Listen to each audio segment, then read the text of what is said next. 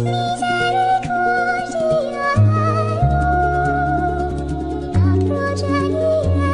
used to call us communists for fighting America.